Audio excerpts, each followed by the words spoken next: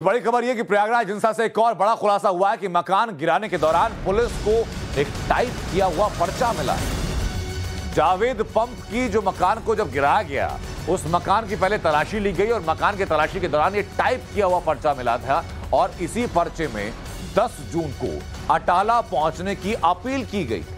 इसमें अपील की गई कि जो भी अड़चन बनेंगे, उन पर वार किया जाए। अड़चन बनने वालों पर वार करने की बात लिखी पर्चे में लिखा कि हमें अदालत पर भरोसा नहीं है। और इसी पर्चे को पुलिस के द्वारा सीज कर लिया गया। और ये अपने आप में एक अहम सबूत है पुलिस के हाथ में। इस सबूत को तफ्तीश में शामिल किया जा रहा है। क्योंकि जावेद पंप जिसके मकान को डाया गया, वो तस्वीरें भी आपको हम दिखा रहे हैं, उसी वक्त मकान की तलाशी भी ली गई थी। और ये टाइप किया हुआ पर्चा मिला, जिसमें कि तीन मुख्य अंग हैं, जिसमें कि पहली बात दस तारीख को अटाला में मिलना है। दूसरा हमें कानून पर भरोसा नहीं है और तीसरा अहम बात यह कि जिसमें जो भी अड़चन बने उनके ऊपर वार किया जाए। और आ, हमको इसमें भाग लेना है और इस तरह से जो भी अड़चन आएगा उस पर वार करना है ईट पत्थर चलाना है। अदालत पे हमें भरोसा नहीं है। ये काफ़ी तल्ख टिप्पणी है आपत्तिजनक टिप्पणियाँ उसने की हैं और उसको विवेचना में शामिल किया जाएगा और उस पर सख्त कार्रवाई अमल में लाई जाती रहेगी। अटाला पहुँचने की बात लिखी हुई है और भीड़ जुटाने की बात। जी जी जो पर्चा मिला है अब वो जाँच होगी कि आ, कितने पर्चे बटे थे कितने छपे थे कितने बांटे हैं किन किन लोगों का उसमें हाथ है। वो आगे अभी तफ्तीश जारी है उसमें किया जाएगा। लेकिन जो पर्चा मिला था हमने बताया था आपकी कुछ पोस्टर बैनर कुछ पर्चे मिले हैं कुछ किताबें मिली थी। तो फ़िलहाल ये पर्चा जो है काफ़ी आपत्तिजनक पाया गया है। किसी के कब्जे से डायरेक्टली नहीं मिला है उस घर से मिला है तो अब उस घर के कनेक्शन से उसमें इन्वेस्टिगेशन जारी रहेगी। वाहनों जो वाहन क्षतिग्रस्त हुए हैं उसमें किस तरह की ये टाइप शुदा है। जो वाहन क्षतिग्रस्त हुए हैं उसमें जो उपद्रवी करीब आधा पेज का ये पर्चा है कुछ फटा भी हुआ है ना है। तो जावेद पंप जो कि इस हिंसा का अभी तक कथित तौर पर मास्टरमाइंड समझा जा रहा है उसके घर से इस पर्चा मिलने का दावा। जिस पर्चे में क्या क्या लिखा है, उसके तीन महत्वपूर्ण अंश आपको बताते हैं। पहली बात, पर्चे में लिखी है कि 10 जून को अटाला इलाके में मिलना है। अटाला इलाका वही इलाका जहाँ पर हिंसा हुई थी, जिसकी जानकारी हमारे सहयोगी मनीष यादव लगातार दे रहे थे। दूसरी अहम बात यह कि उसमें हमें अदालत पर भरोसा नहीं है, अपने ढंग से काम करना है। और तीसरी अहम बात यह कि इस पूरी कार्रवाई के दौरान, यानी जब अपने ढंग से काम किया जाएगा अदालत पर अविश्वास करते हुए तो जो भी अड़चन बनेगा मतलब कि जो रोकने की कोशिश करेगा, उनके ऊपर वार किया जाना है। हमारे सहयोगी मनीष यादव लगातार हमारे साथ बने हुए हैं, जो कि ग्राउंड ज़ीरो से लगातार रिपोर्ट करें मनीष, जरा इस पर्चे के बारे में बताइए कि इस पर्चे का कंटेंट क्या क्या है और किस वक्त पुलिस के हाथ लगाए पर्चा?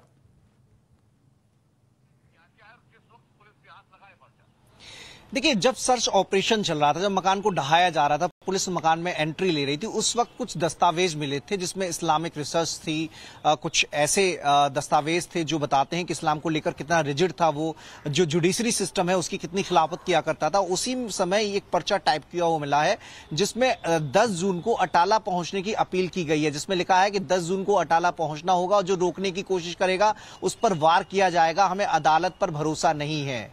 ये ऐसी बातें उस पर्चे का हिस्सा थी। उससे आसानी से उसके थॉट को समझा जा सकता है कि वो सिस्टम के कितना खिलाफ था। उसे हमारी न्यायपालिका पर भी भरोसा नहीं था और न केवल जावेद मोहम्मद, बल्कि उसका पूरा परिवार इसी के इर्द गिर्द घूमता है, जो आफरीन है जेएनयू स्टूडेंट है। अगर उसकी सीएनआरसी प्रोटेस्ट के दौरान की स्पीच सुनी जाए तो उसमें वो अदालत पर लगातार निशाना साधती है।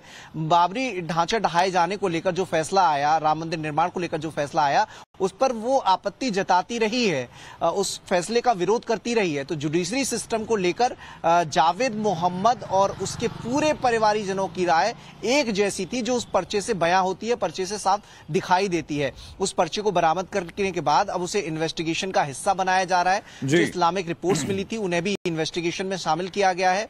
जो बाकी और दस्तावेज़ मिले थे कुछ असलाह भी मिले थे। असलाह मिलने के बाद जावेद मोहम्मद के खिलाफ अवैध असलाह रखने के आरोप में एक और एफआईआर दर्ज भी की गई है। तो ये पुलिस अपने स्तर पर इसकी प्रोसीडिंग कर रही है। मनीष, मुझे दो चीज़ें जरा दर्शकों को समझाई कि पहली बात तो ये कि क्या इस पर्चे को जावेद पंप से जुड़ा हुआ पुलिस मानकर चल रही है? या पुलिस ये मान के चल रही है कि चूँकि जावेद पंप के घर से मिला है तो इसका घर से संबंध है, उसी के आधार पर तफ्तीश आगे बढ़ाई जाएगी।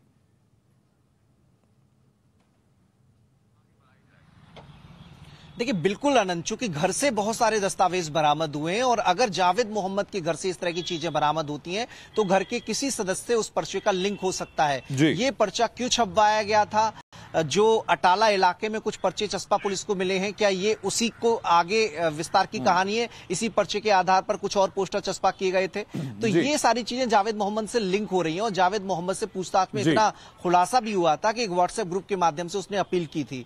कुछ चैट उसने डिलीट कर दी थी जिनको रिकवर कराने की कोशिश की जा रही है। अली अहमद और जावेद मोहम्मद दोनों के मोबाइल। फॉरेंसिक जाँच के लिए भेजे गए हैं। उसमें ग्रुप से जब चैट रिकवर होगी तो बहुत सारी चीज़ें साफ़ हो जाएँगी। बिल्कुल। उसमें एक चीज़ और साफ़ हो जाएगी कि आफरीन की क्या भूमिका रही है। क्योंकि जावेद मोहम्मद ने बताया था कि कई ऐसे मसले होते थे जहाँ वो अपनी बेटी से गुफ्तगू कर लिया करता था उससे मशवरा लिया करता था।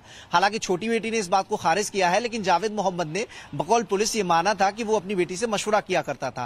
अब ये मशवरा किन किन चीज़ों को लेकर हुआ करता था? क्या दस जून की घटना भी उसमें आफरीन की संलिप्तता अब तक किस हद तक सामने आई? मनीष मैं आपसे जानूं उससे पहले दर्शकों जरा संक्षेप में बता दीजिए कि जावेद के घर से जो दस्तावेज़ मिले, वो कंटेंट उनका क्या था क्या क्या दस्तावेज़ थे और जिन हथियारों का आप ज़िक्र कर रहे हैं कौन कौन से हथियार जावेद के घर से मिले हैं? क्या पुलिस ने इस बारे में कोई डिस्क्लोज किया है, कोई जानकारी दी है?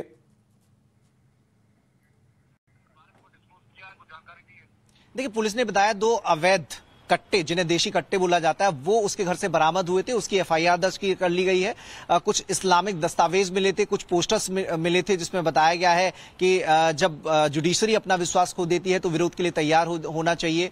कुछ रिपोर्ट्स मिली हैं जो लाहौर की एक अंतुजम कमेटी से जुड़ी हुई हैं, जो मौलाना इसरार ने लिखी है। मौलाना इसरार अक्सर गजवाए हिंद की बात करते रहे हैं। जो आफरीन है, उसकी छोटी बहन सुमैया ने कहा भी था कि इस्लामिक थ्योरी शुरू से लेकर आज तक और पूरा दुनिया में कैसे इस्लाम हो कैसी उसकी रूपरेखा हो, इसके बारे में वो हम, जब हमने उससे बात की थी, उसके बारे में उसने बताया भी था कि इसरार इस तरह की फिलोसफी को अपनाते रहे तो वो रिपोर्ट्स मिली हैं। सुमैया ने बताया कि फादर एक तंजीम से जुड़े हुए थे तो ऐसी रिपोर्ट्स वो पढ़ा करते थे। इसके अलावा आफरीन भी उन रिपोर्ट को पढ़ा करती थी तो इस तरह के दस्तावेज़ मिले हैं जो इस्लाम के प्रति उनकी गहरी आस्था को तो बताते ही हैं साथ ही वो रास्ता जी। कट्टरवाद से होकर गुजरता है इसको भी बयां करते हैं। बिल्कुल तो मनीष बहुत बहुत शुक्रिया मनीष यादव आपका हम तो जुड़ने के लिए और पूरी जानकारी तफसील के साथ दर्शकों तक पहुँचाने के लिए।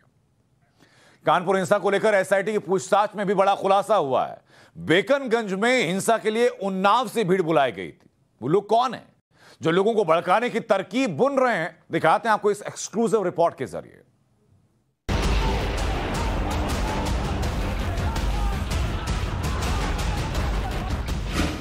शुक्रवार की हिंसा, बड़ा खुलासा, कानपुर टू प्रयागराज, बाहरियों का बवाल। कानपुर हिंसा को लेकर एसआईटी की पूछताछ में बड़ा खुलासा हुआ है कि बेकनगंज में हिंसा के लिए उन्नाव से भीड़ बुलाई गई। सीडीआर से कल इनके मोबाइल नंबर निकाले गए। बंद कमरे में पूछताछ के दौरान मास्टरमाइंड ज़फ़र हयात ने बताया कि बिरयानी की दुकान वाले फंडिंग और बिरयानी का इंतज़ाम करते थे। 10 जून को प्रयागराज में जो बवाल हुआ, पुलिस प्रशासन पर गुरिल्ला वार हुआ, उसको लेकर भी रोज खुलासे हो रहे हैं। सूत्रों के हवाले से जो नए खुलासे हुए हैं, उसके मुताबिक हिंसा फैलाने के लिए 150 से ज़्यादा गाड़ियों का इस्तेमाल किया गया था, जिसमें ज़्यादातर बाइक थी, जिन वाहनों का इस्तेमाल किया गया, वो दूसरे जिलों की थी। इन गाड़ियों के नंबर के आधार पर पुलिस उनके मालिकों की तलाश कर रही है।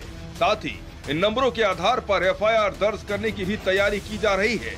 पुलिस उन लोगों से भी एफआईआर कराने की अपील कर रही है, जिनका हिंसा में घर और संपत्ति का नुकसान हुआ है।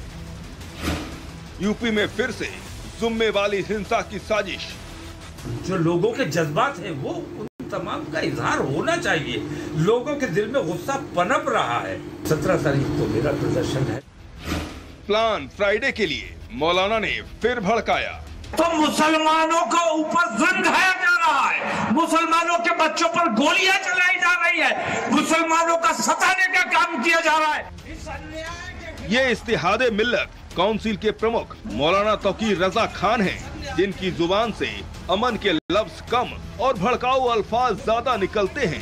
पिछले रविवार यानी 12 जून को बरेली में उन्होंने चंद बातें भाईचारे की कही और फिर लगे हाथ। अगले जुम्मे यानी 17 जून को सड़कों पर उतरने का ऐलान कर दिया था। लेकिन टाइम्स ऑन अब भारत अपील करता है कि उकसावे से बचने की ज़रूरत है। आवेश में कानून तोड़ने से बाज आने की दरकार है और सबसे ज़्यादा ज़रूरी है उन लोगों पर नकेल, जो हेड स्पीच के ज़रिए देश में लोगों को भड़काते हैं, आपस में लड़ाते हैं। ऐसे लोगों पर कार्रवाई कैसे होनी चाहिए? आम लोगों की जुबानी सुनिए। जिससे दो दो मज़हब के लोग आपस में लड़ें चाहे हिंदू लड़े चाहे मुसलमान लड़े। ऐसी स्पीच हेड स्पीच से बचना चाहिए उस पर कड़ी से कड़ी रास्तों का लाना चाहिए देशों का कानून उस पर लगना चाहिए। जो भी लोग इस तरीके का बयान देते हो उन पर सख्त से सख्त कार्रवाई हो जिससे कि शहर में शांति व्यवस्था बनाए भड़काने का अंजाम इस देश ने कई बार देखा। ऐसे में ज़रूरत नफरत फैलाने वालों से सावधान रहने की है ताकि फिर से 10 जून जैसे गुनाह न हो पाए। अगर गुना हुआ तो सजा भी मिलेगी, क्योंकि कानून गुनाहगारों में रंग या मज़हब का फ़र्क नहीं देखता। Bureau report, Times on Bharat.